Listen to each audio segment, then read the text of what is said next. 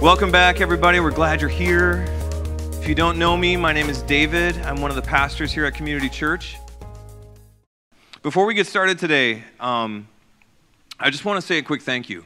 And this will probably be the last time we address that it's our new space, our new space, our new space. But it is our new space. And we've been here for, what, three weeks? And we spent three months working on it. And um, I just want to say a quick thank you to a few people that have made this space possible the people that, that, that put the seats down that you're now sitting in, okay? Thank you to Tom Steffen. Thank you to David Butler and Don Steiner, Aaron Johnson and Ben Campbell, John Ruck, Nate Fredenberg, Pastor Allen, multiple community groups and discipleship groups, and the new, new city leadership team, just to name a few. There's no way that we could be here sitting in these seats with these lights and this little stage um, without the sacrifice that you put in over the past three months. And, uh, and so, can we just do a quick round of applause for those folks? And if you know them, if you know them, give them a hug, say thank you. Um, and, and next time we do a project like this, maybe ask yourself, how can I be a part of making this happen? So, thanks again to everyone who played a role. I can't wait to see and we're already seeing. But I can't wait to see how God uses the space. You know what I'm saying? It's been an amazing, an amazing season. So it's time for the word. If you have your Bibles, why don't you get them out? We're going to be looking at uh, Ezekiel chapter 37 today. And we're going to be reading it from the NLT. We study from the ESV, but we're going to be reading it from the NLT. So if you have it on your phones, make sure you switch. So Ezekiel is the book of the Old Testament, the OT. Um, it was written between 590 and 570 BC by a prophet named. Good. All right, you're good. And it was written during a pretty rough time in Israel's history, Israel being God's people from the Old Testament. See, they went from being this powerful nation to being occupied and kicked out of their land and, and living as exiles in Babylon. Earlier in Ezekiel, before this, before this chapter, um, it says that, that this happened because Israel polluted their land with murder. That they polluted their land with murder and the worship of idols. And Israel turned from the Lord. They turned from God to follow their own way. So God scattered them, exiled them to live among the surrounding nations of Assyria and Babylon. Now, when they were living in exile, though, nothing really changed. They, they didn't really learn their lesson from the exile. They continued to bring shame to themselves and to God. So much so that even the nations, the occupying nations, began to badmouth God based on the actions of Israel, questioning if God, if their God was really God. I think we see some of that in our own lives today, don't we? And so God says to Israel in response, God says, Listen up, I'm going to rescue you again. I'm going to bring you back to your promised land again, but not because you deserve it, not because you've done anything more than hurt me, but because my reputation is at stake. I'm going to save you. I'm going to bring you back so all the world will know who I really am and what I'm capable of. And that's where today's passage kicks in as Ezekiel shares with Israel, with God's people, with us, in exile a vision God gave him for their future. And so this is verse 1 from Ezekiel 37. It says this The Lord took hold of me, and I was carried away by the Spirit of the Lord to a valley filled with bones. He led me all around among the bones that covered the valley floor. They were scattered everywhere across the ground, and they were completely dried out. These were very dead bones, okay? And then he asked me, Son of man, can these bones become living people again? O sovereign Lord, I replied, You alone know the answer to that. Then he said to me, Speak a prophetic message to these bones and say, Dry bones, listen to the word of the Lord. This is what the sovereign Lord says Look, I'm going to put breath into you and make you live again. I will put flesh and muscles on you and cover you with skin. I will put breath in you and you will come to life, and then you will know that I am the Lord. So I spoke this message just as he told me. Suddenly, as I spoke, there was a rattling noise all across the valley, and the bones of each body came together and attached themselves as complete skeletons. Verse 8 then, I, then as I watched, muscles and flesh formed over the bones, then skin formed to cover their bodies, but they still had no breath in them. Then he said to me, Speak a prophetic message to the winds, Son of Man speak a prophetic message and say, This is what the sovereign Lord says. Come, O breath from the four winds, breathe into these dead bodies so they may what? Live again. So I spoke the message as he commanded me, and breath came into their bodies. They all came to life and stood up on their feet. A great army. Then he said to me, he said, Son of man, these bones represent the people of Israel. They represent my people. And they're saying, We have become old. We've become dry bones. All our hope is gone. Our nation is finished. Therefore, this is the good stuff. Therefore, prophesy to them and say to them, This is what the sovereign Lord says. O my people, I will open your graves I will open your graves of exile and cause you to rise again. Then I will bring you back to the land of Israel. And when this happens, O my people, you will know that I am Lord. I will put my spirit in you, and you will live again and return home to your own land. Then you will know that I am the Lord. We've heard that a lot.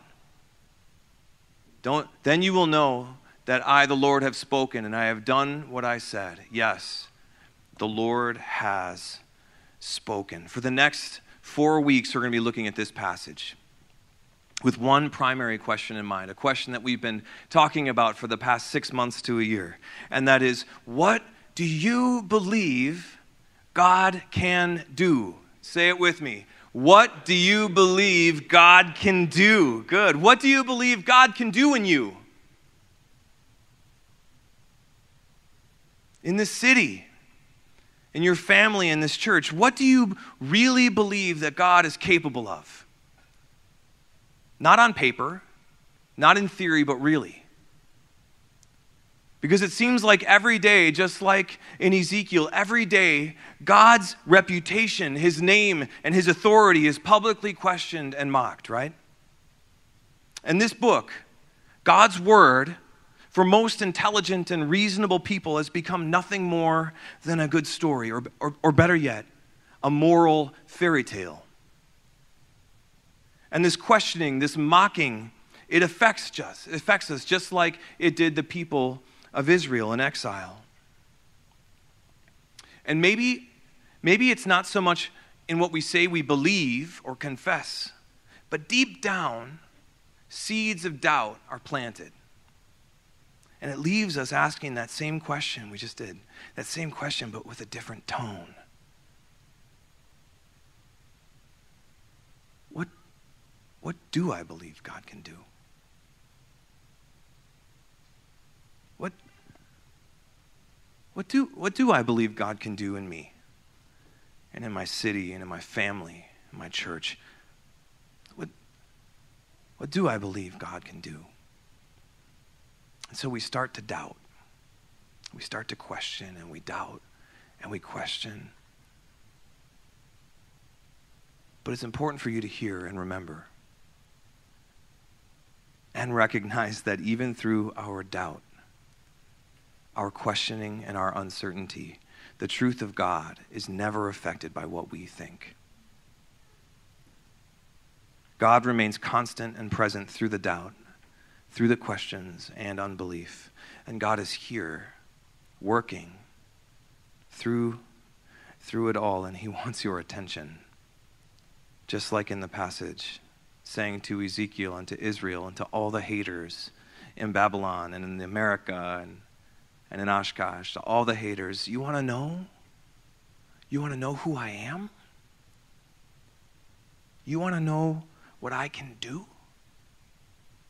You want to know how capable I really am? Fine. Fine, just watch me. Watch me raise the dead to life. Then you'll know. Then you'll know that I am God. And that's where we're hanging out for the next couple weeks. Talking about the dry bones in all of us, in our city, in our families, in our church that God wants to bring back to life, not because we deserve it, but because it reveals to the observing world the truth of who God is.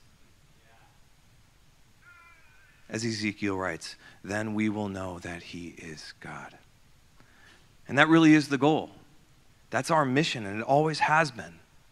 Ever since humans were created in the garden in God's image, we were designed and assigned to represent God out in the world because God wants all the world to know Him. God wants all to be restored back to Him. And listen, listen, miracles, miracles are just part of that mission. They are a means to an end. They are the actions that flow out from the heart of God so we will know who He is.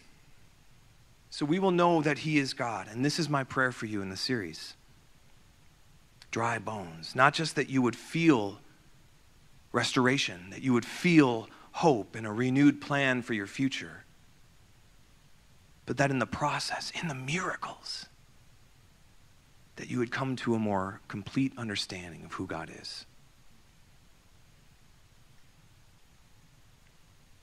Hmm.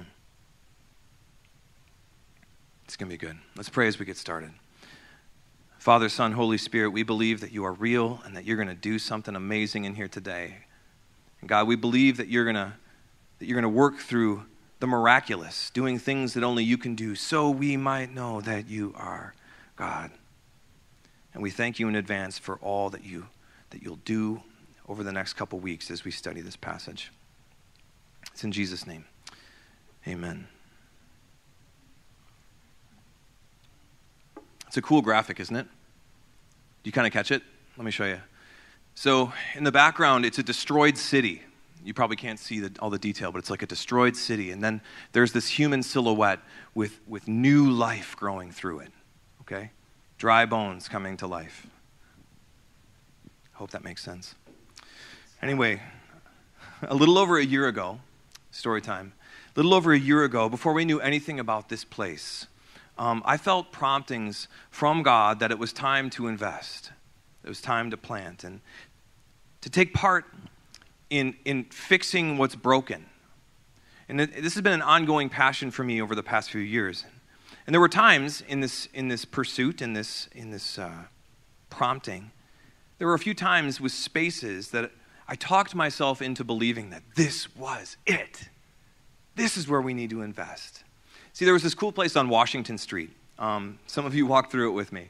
Um, beautiful windows, it's an old church, really cool space, but tons of mold in the basement, okay? So we had to walk away. Then there was the Wagner Opera House. Anyone remember the Wagner? We started talking about that. Um, it was great, really cool. Um, but just before we moved in, before we, before we occupied, we learned a few things that, that made it so we couldn't. And this was actually a really disappointing time for me, a really hard time in my life, um, because we had to walk away again. And then there was one more, and this is the one that, that I really liked. It was the Old Eagles Club across from the YMCA uh, downtown. It is so cool. It's incredible. It's an amazing space. And, and we spent a lot of time thinking about it, um, but it needed some work, and the utilities were like crazy expensive, okay? Like $8,000 a month expensive. And so, if anyone's interested in buying it, great, but have fun with the utilities. And so, once again, I had to walk away. I had to walk away. And anyway, um, I remember sitting one day in my car in front of the Eagles Club actually. And it was raining, and I was just praying and dreaming and, and reading through this passage, actually, from Ezekiel 37. And, and I knew that we were meant to invest. I knew that we were meant to care for something and repair something. But it had been a while since I really felt anything specific, any clarity. And so I just kind of sat there in my car in the rain outside, waiting to hear something. Anything, really. And I waited and, and I read it again, thinking, you know, maybe if I read it one more time, then God will answer me. but nothing. And so, so I, I sat there for like an hour, and I don't know why. Maybe some, somehow I thought that like an hour was that perfect magic, hear from God amount of time to sit in the quiet, you know, but, but nothing. And so I left there kind of frustrated, like, what the heck? I wonder how many of you have prayed or read or questioned or asked for advice or, or direction or any of that stuff only to be left waiting. Anyone? Yeah.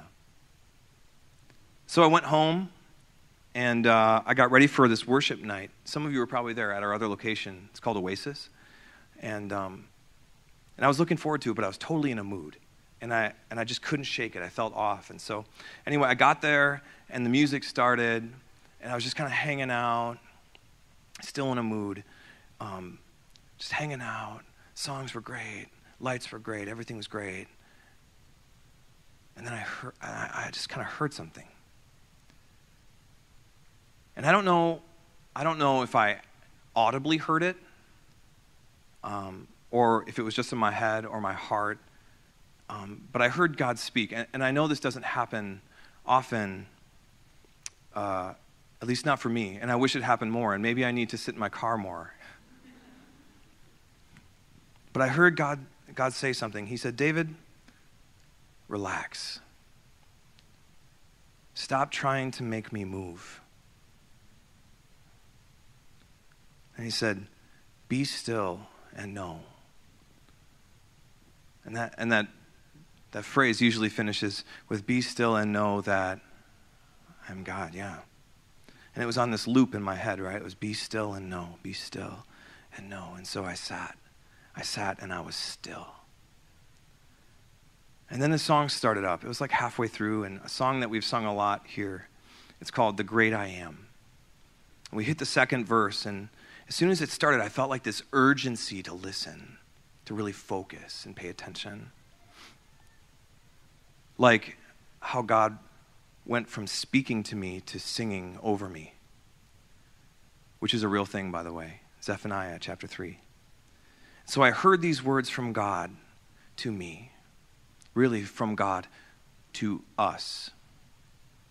I heard these words, and it was I want to be near, near to your heart, loving the world but hating the dark. Come on. I want to see dry bones living again, singing as one. And that was it. And then we all kicked back in with Hallelujah, holy, holy, God Almighty, the great I am. Who is worthy? None beside thee, God Almighty, the great I am. Yeah, yeah.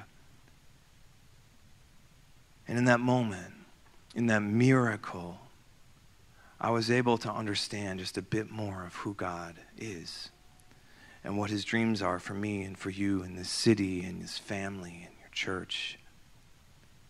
This dream we see supported all throughout Scripture that God wants to take what's broken and fix it,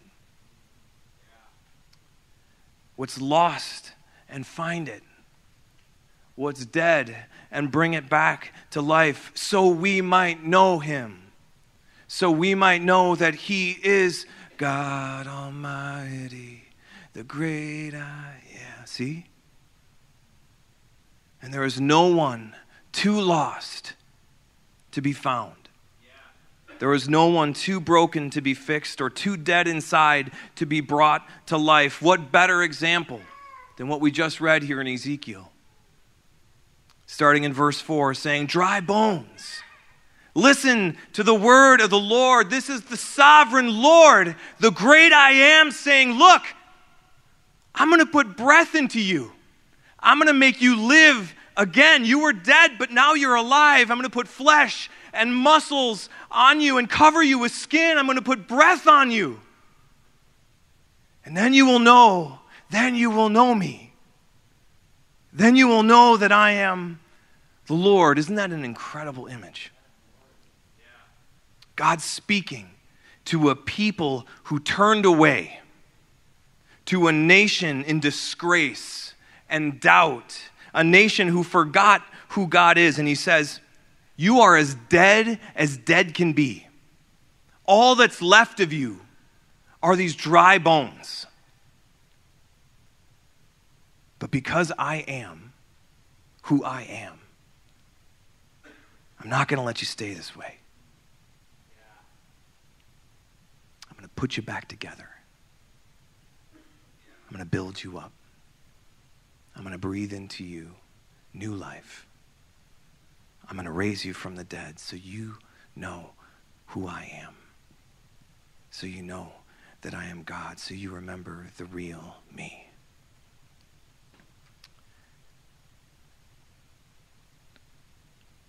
I believe God has some work to do in us today, friends. This message from Ezekiel to Israel, it might actually extend past the exile and into Oshkosh. And just like the dry bones in the valley, I think some of us need to do some recognizing and some remembering today. And not just where we've been, but where we've been brought. Paul says this really well in his letter to the church, Ephesus, first century, just after Jesus. This is chapter 2. He says, he says, Once you were dead, you were dry bones. Once you were dead because of your disobedience and your many sins. You used to live in sin just like the rest of the world. Verse 3 All of us used to live that way, following the passionate desires and inclinations of our sinful nature. By our very nature, we were subject to God's anger, just like everyone else. This is where we've been. Never forget where you come from. But don't get stuck there, friends.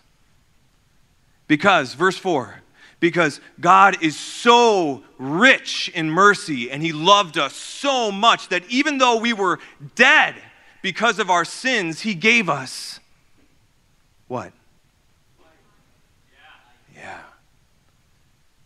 He gave us life when He raised Christ from the dead. It is only by God's grace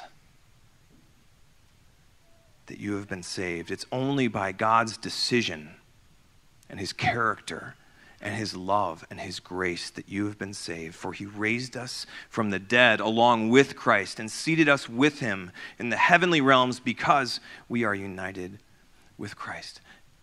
It's only because of God, His name, His grace, His reputation, His power, His authority, and His lordship over all the earth that we have been saved. That we have been brought from death to life, from dry bones to living again. And this is where we are now. This is where we have been brought to, all because God wants to be near to us, all because God wants us to know Him. That we would recognize and remember. We all need to recognize and remember. Uh, we're going to be finishing up in just a minute. The band wants to come up. They did such an awesome job this morning.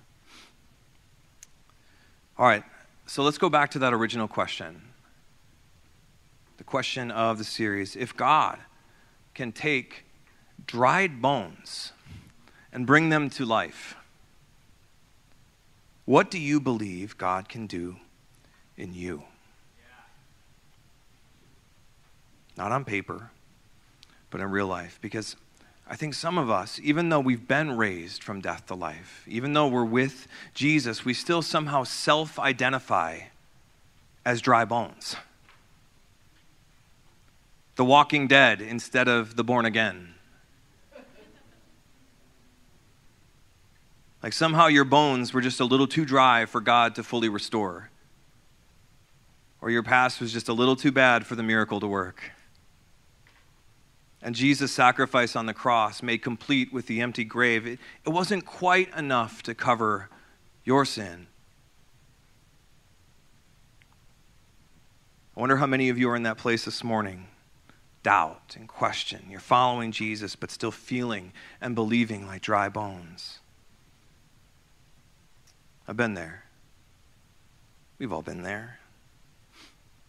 But if that's you today, feeling totally unworthy and unlovable, you need to take a moment to sit in the car with the rain, to be still, and to remember the miracle to remember who God really is, and you need to let it go. You need to remember His grace is sufficient for you. Through it all, His grace is enough. To be still and to know. But maybe, maybe you came here today and you're just kind of on the fence with church and God and the whole thing. Like maybe you just had a kid. Um, or you just got married, or you just went through something kind of wild. Hopefully, it wasn't getting married or having a kid, but it probably was. But anyway, uh, you made it here because you're trying to make some sense out of things. You're trying to find some direction. And so you stop by church hoping, hoping for some help, and you're not really sure what you believe exactly. The stories are cool, the moral fairy tales help connect some dots but in the end if you're honest if you're really honest you just you just don't know you weren't sure you feel lost or like israel in that passage where all hope is gone well if that's you today and you know who you are it's probably been all of us at one point you know who you are i believe listen i, need, I believe with all of my heart that God is trying to reach out to you. That He wants you to know Him and what He's capable of. That He is rich in mercy and loves you so much, even with all your history and your past and your mistakes and your sin and your disbelief, all of it. God wants to set you free from it. God wants to give you a new life full of grace and freedom and love and peace. And He wants you, He wants to do this so you might know Him. Just like Ezekiel said, that you would know that He is Lord, that you would recognize that He is Lord over everything, even over this moment. If that is you, I just implore you to say, God, I, I believe that you're real and I believe that you can and will take my dry bones and breathe new life into them. That you can and will do a miracle in me in this very moment so I could come to know the real you. The real you. Take a step today, friends. We need to recognize and we need to remember this morning that God is God and He has gone to great lengths so we might know Him. We all need to recognize and remember that God literally brought heaven to earth so our dry bones could live again. So, moving forward, what, what do you believe God can do in you? After all, He's already done the impossible. What do you believe God can do? Can He, can he set you free from your addictions? Yes, He can and He will. Can He break your chains of doubt and guilt and insecurity? Yes, He can and will. Can He finally heal your broken heart, showing you how to love and forgive, to give and receive grace? Yes, He can and He will, and He wants to start right now. So let's just take a moment in the quiet. In my car outside the Eagles Club with the rain coming down, to be still. To be still and know, to be still and recognize and respond, saying, You can take these dry bones and breathe life into my skin. Take me as I am. You called me by name raise me to life again. He wants to start right now. So let's be still. Let's be still and know that He is God. We're just going to take a minute to just hang out. It's hard in our, in our culture as we're reaching for our phones and all that, but let's just take a moment to be still and to listen. The band is going to come in singing in a minute. Um, let's just sit.